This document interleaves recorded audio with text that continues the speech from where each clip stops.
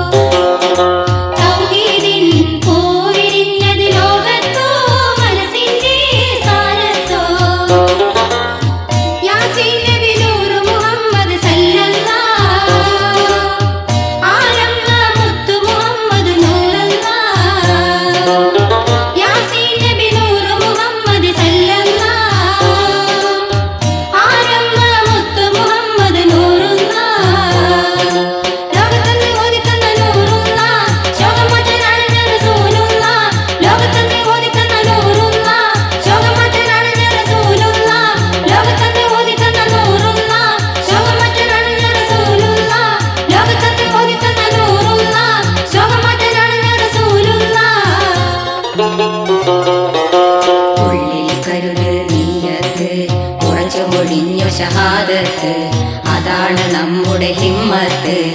അവയറിഞ്ഞോർക്ക് സലാമത്ത്. ഉള്ളിൽ കരുതേ നീയത്തെ